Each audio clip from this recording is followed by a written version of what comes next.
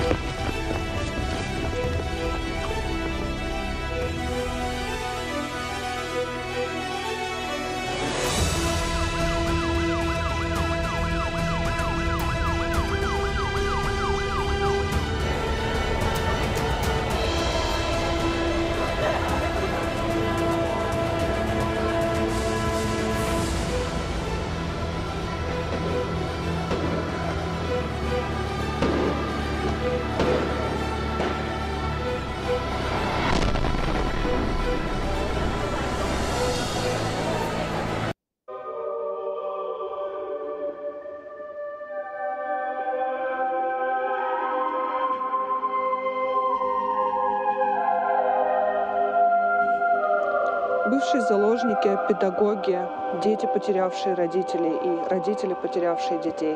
Сегодня все здесь, в этом священном месте. Месте, где нет ни чинов, ни имен, где можно быть только человеком. Интервью Клима Георгиевича Галиева, руководителя регионального исполкома Народного фронта.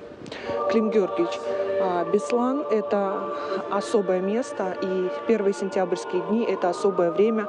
Это время, когда каждый житель республики испытывает боль, а, вспоминает жертв этой трагедии. С какими чувствами сегодня вы здесь? Ну, Беслан – это неутихающая боль нашего народа. Этот а, террористический акт, который произошел 20 лет назад – навсегда разделил жизнь нашей республики на до и после.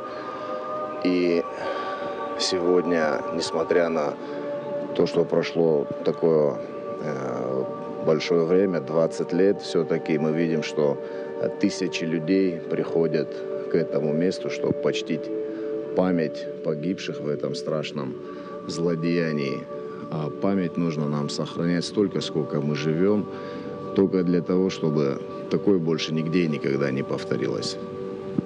Клим Георгиевич, вы, я думаю, каждый год здесь бываете. И скажите, вот каждый год, как вам кажется, что-то меняется в людях? Вообще что-то поменялось за эти 20 лет в Осетии? Потому что, ну, действительно, это точка невозврата под названием Беслан. Ну, на это место всегда тяжело приходить, всегда это мурашки, всегда это э, волнение, это траур, это скорбь, это наворачивающиеся слезы, это дрожащие голоса. Я не вижу здесь никогда равнодушных людей, которые э, приходят и уходят там с хорошим настроением.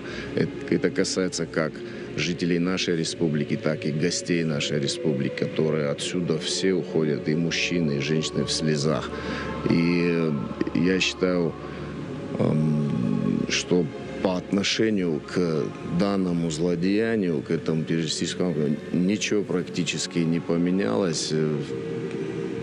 Мы как э, были в трауре, так и остаемся. И вот этот день, 1 сентября, он по всей стране, можно сказать, и много где еще. Он, это праздник, это светлый праздник, когда дети идут нарядные в школу. Ну, для нашей республики, к сожалению, он превратился вот в такой день, день траура, день скорби.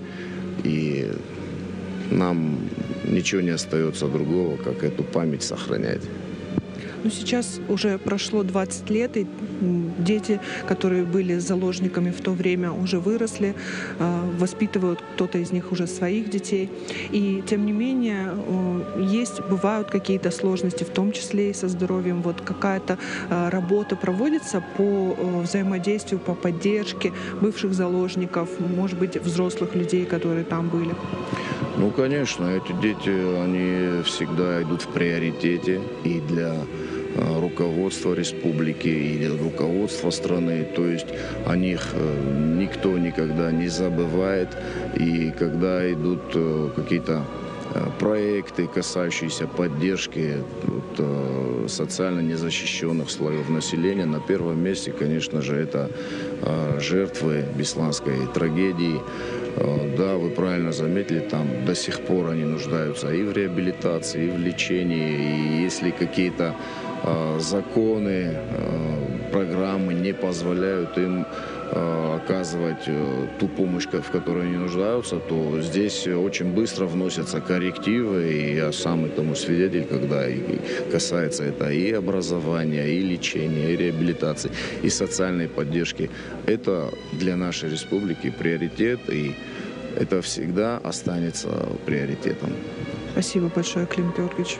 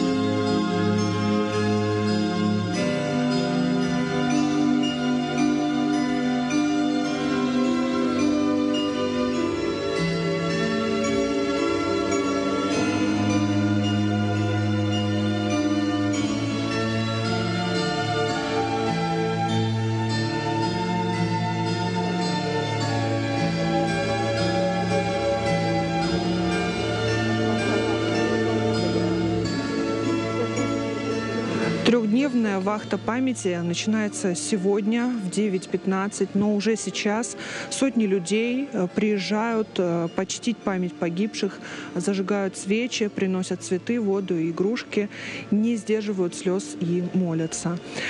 Поток людей не кончается. 20-я годовщина Бесланской трагедии, а боль не утихает. Здесь и официальные лица, и общественники, и представители духовенства, и простые люди, многие из которых преодолели а, сотни и даже тысячи километров, чтобы почтить память жертв Беслана и разделить скорбь. В траурные дни в Беслан прибывают делегации из Италии, Хорватии, Словении, Турции, Казахстана и со всех уголков нашей страны. Москвы, Санкт-Петербурга, Нижнего Новгорода. Новосибирска. И вот делегация из Новосибирска, прошу. Здравствуйте. А, вы впервые здесь оказались в Беслане или нет?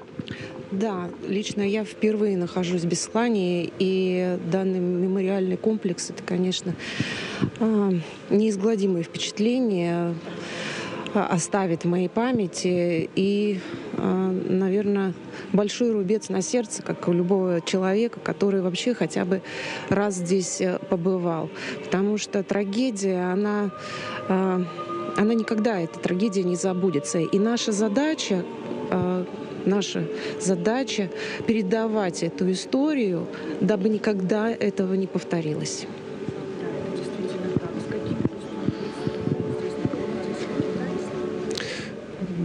Ощущение, конечно, очень очень сильный, потому что трагедия, которая произошла 20 лет назад, это, наверное, самое, самое большое неизгладимое впечатление. Это теракт, который в сердцах людей. сегодня э, сибиряки вместе с Осетией очень близко. Мы почтим память о невинно убиенных. И, конечно же, будем всегда помнить. И очень важно, чтобы наши дети, подростки, молодежь знали об этом и передавали друг другу. Э, вы преодолели довольно большой, э, большое расстояние, чтобы приехать сюда, э, в Беслан. Вот скажите, как вам кажется, что вы увезете отсюда, с этого, я бы назвала, священного места? С этого места, в первую очередь, это память. И память передавать, которую мы будем поколением молодежи. И хочу сказать, что Новосибирск всегда помнит эту трагедию. И каждый год 3 сентября мы проводим свечу памяти Беслана. И хочется сказать молодежи, это самый главный посыл, который мы будем всегда это передавать, что терроризму никогда не будет оправданий. И нужно всегда помнить. Э, и просим всю молодежь мира и нашу молодежь об этом помнить. Благодарю.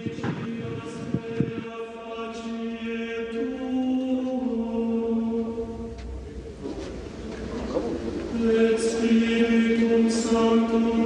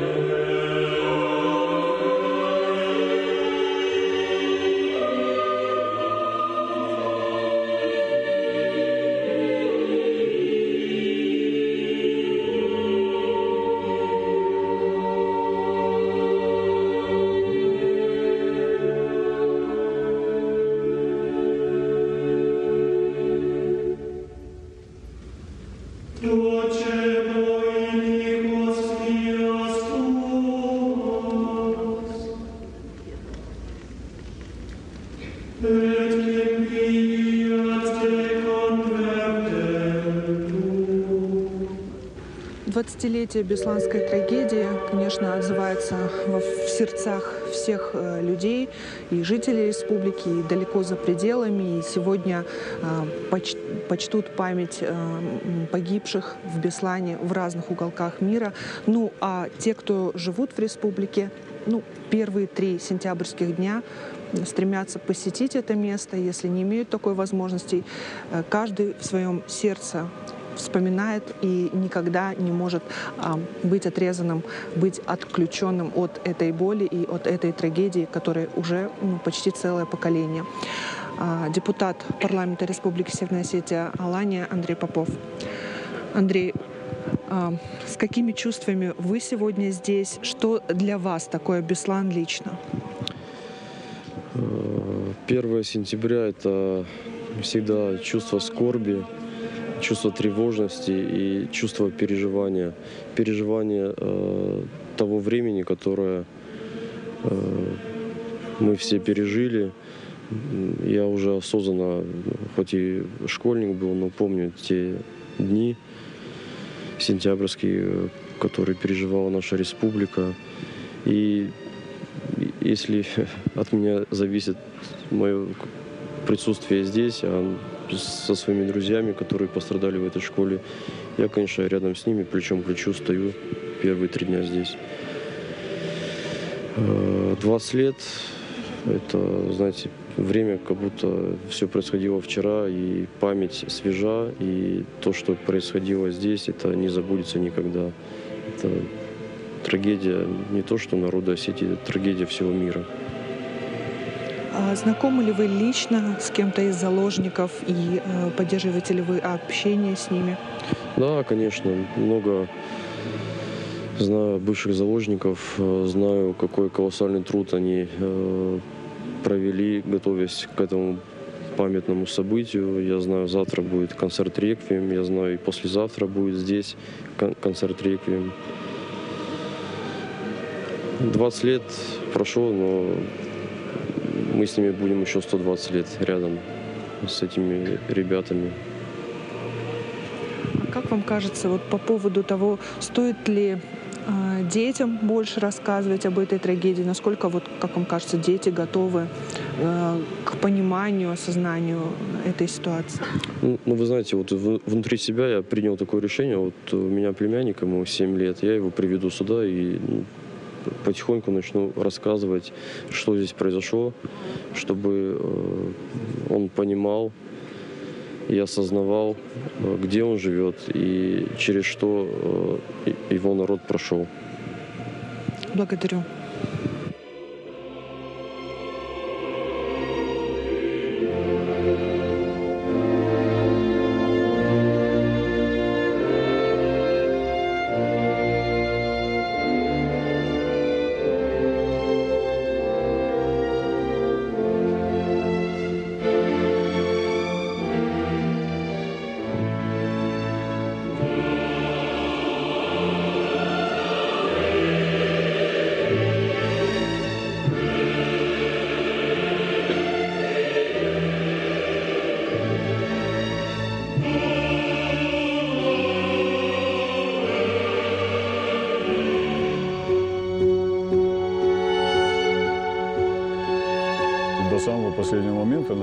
Что э, все это разрешится, разрешится переговорами. У меня э, случай, мы, э, ну, у меня брат был внутри оцепления, я был снаружи от оцепления. И мы встретились, я ему передал там лекарство. И в это время милиционер, стоявший на оцеплении, он как раз рассказывал, что только что сбежал пацан оттуда. Ну, мы удивились и обрадовались, надо же, что... Ну, потому что там очень снайпера по-серьезному работали, не давали никому шевелиться, я имею в виду этих уродов. А тут я, я про, только я произнес фразу, надо же, говорю, ну, наверное, не стал руки пачкать ну, кровью ребенка. И вот как только эти слова сказал, тут же первый взрыв раздался тогда. Просто гробовое молчание и второй взрыв, и тогда мы уже поняли, что произошло что-то страшное. Даже не столько кровь, не столько раненые, убитые. Я глаза наших детей. Я всегда говорил, что я никогда не прощу те пустые глаза, которые были у наших детей. То есть они пытались обесчеловечить их. 20 лет назад, 1 сентября, Борис Кантемиров вместе со сборной республики по карате был в Дагестане. Готовились к Кубку России. О захвате школы в Осетии рассказали местные жители – Кантемиров позвонил супруге, которая сообщила, что в числе заложников семья его младшего брата, жена и сын. Вечером Кантемиров уже был в Беслане. И надеялись, и были подавлены. Вот я просто знаю там близких моих родственников, два-три человека, они в течение этих трех дней даже стакан воды не, не могли выпить, просто не шло. Вот э, одного я там, я говорю, поешь, ну, ты а у него все это обратно лезет, потому, вот знаете, какая-то физическая связь, наверное, да, мой ребенок там голодный, а я тут После начала штурма Борис, как и все, помогал выводить и выносить заложников. Чувства страха не было, только потом пришло сознание всей трагедии. Сегодня Борис Кантемиров – президент Федерации практической стрельбы Северной Осетии. Этим видом спорта он заинтересовался после теракта. Когда раздалась вот эта стрельба, я это и говорил, еще раз повторяю, я потерялся. Я даже не мог понять, из чего стреляют. На меня это идет, от меня это идет, да. И я сам себе сказал, а вот, э, ну, ну а какой ты мужчина после этого, если ты не в состоянии быть полностью да, задействован и полностью хотя бы как-то полезен да, в этой ситуации. И для себя начал, э, поменял свой вектор немножко и не жалею об этом.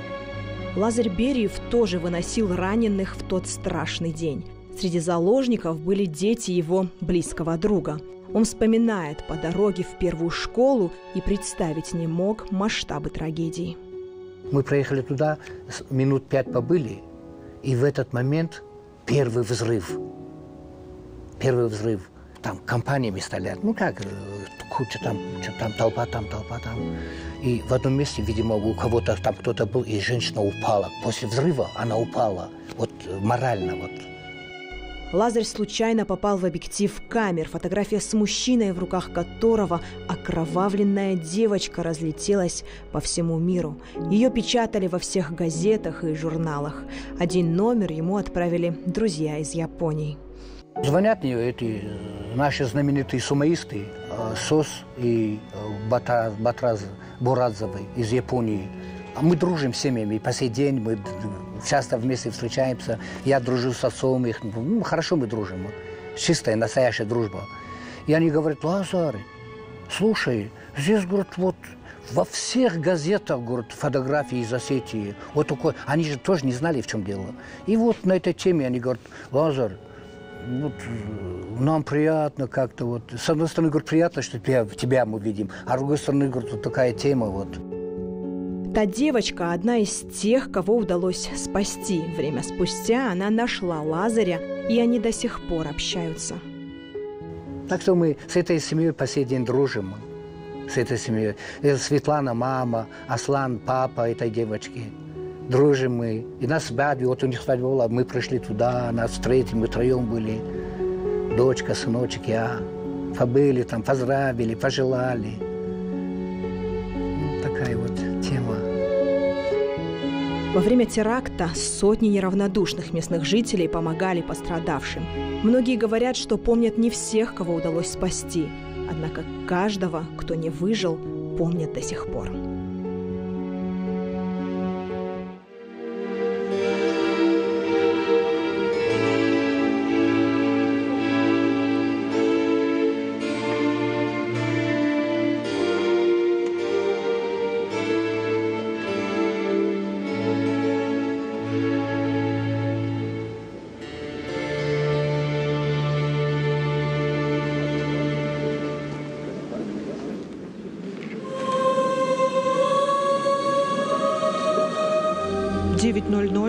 Началась траурная церемония. Люди в белых футболках с изображением ангела а, выстроились линейкой школьной. Это все заложники, и в руках у них фотографии тех, кто погиб в те черные сентябрьские дни 2004 -го. Это ученики, педагоги, сотрудники силовых структур, спасатели. А уже через несколько минут, ровно в 9.15, раздастся звонок, и тогда спортивный зал школы будет открыт для посещения официальных делегаций.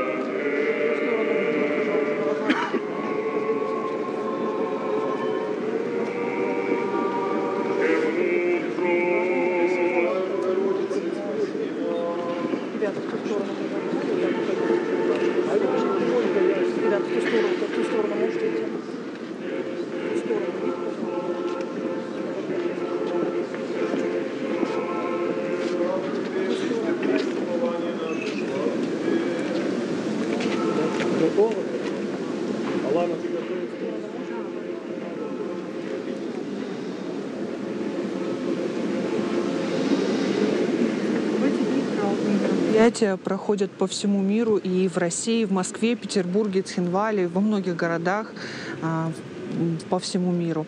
Боль Беслана вне категории времени и расстояния. Сегодня здесь, во дворе Бесланской школы, мы говорим с теми, а, кто вместе с заложниками, вместе со всеми проживал эту боль.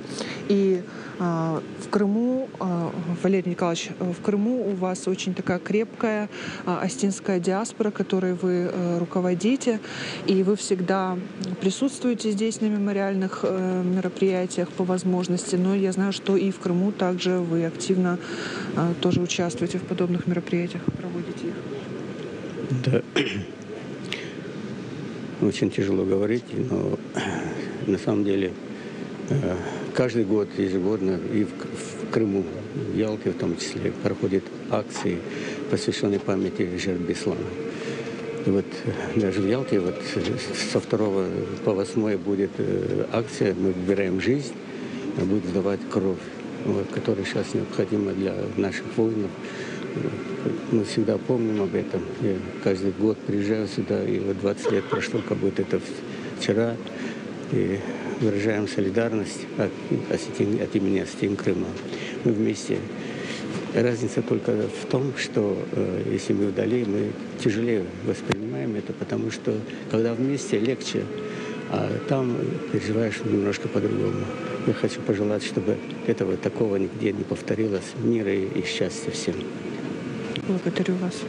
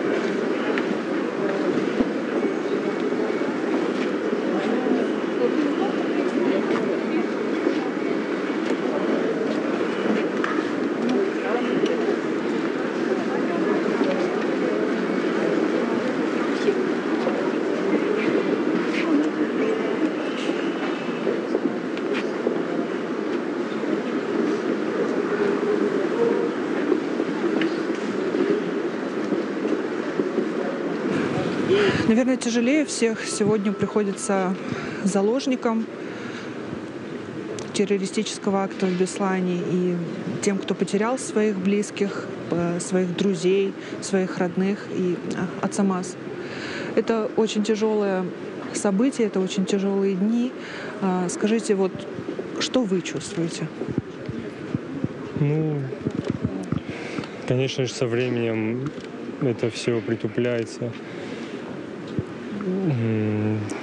Реально, вот, на мой взгляд, надо каждому, каждому неравнодушному сюда приходить, отдать дань уважения погибшим. Я насчет чувств у меня вот не могу сказать ничего, но вот мой долг быть здесь всегда. Не знаю, насчет чувств не могу сказать ничего. У меня вот раны притуплены. А скажите, вот как вам кажется, почему вот этот долг необходимо отдавать? Вы сами, ну вот как это понимаете? Для того, чтобы каждый, кто будет сюда приходить, знать, если он прочувствует это, то, что произошло. Мне кажется, это поможет в дальнейшем предотвратить случившееся. На мой взгляд, это вот, вот так. Поделитесь вашими личными воспоминаниями, пожалуйста. Личные воспоминания произошедшего. Помню все до мелочей, хоть я был в тот момент в первый класс пришел, моя первая линейка должна была произойти, конечно же, радостно все пройти должно было, но, к сожалению, все так случилось. Я был тогда здесь с отцом и с мамой.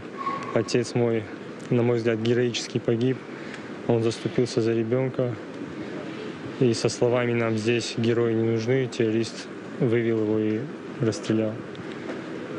Это героический поступок моего отца. Ну так. Вы сказали, вы сказали, что помните все в деталях, несмотря на то, что вы были тогда еще маленьким. Да, вот э, что врезалось вам в память? Вот, может быть, какие-то воспоминания о тех, кто был рядом с вами? Ну вот прям такой момент был уже третий день теракта.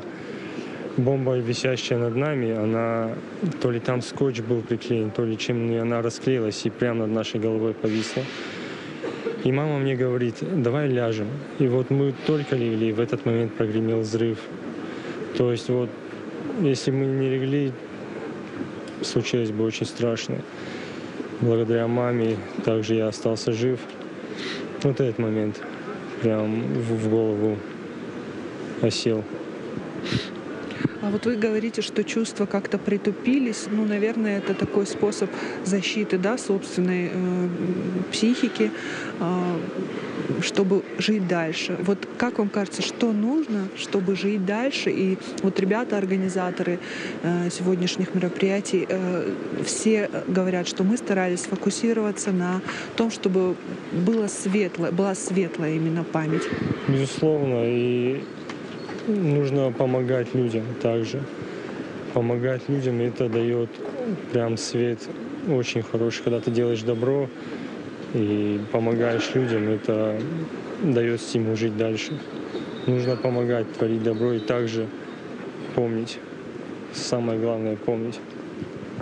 Благодарю.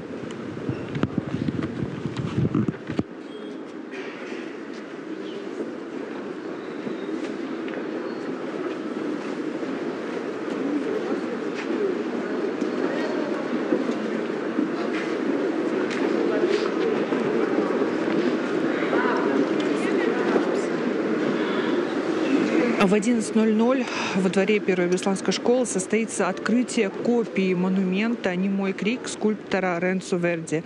Эта копия была а, передана Владикавказу еще в прошлом году. Она, ее оригинал установлен а, в итальянском городе Сан-Марино. И вот сегодня будет открыт здесь а, во дворе школы. А, работа стала известна по всему миру, и она очень ярко и остро выразила весь а, ужас произошедшего в Беслане 2004 года. Ну а в 13.00 пройдет а, традиционная пресс-конференция матерей Беслана.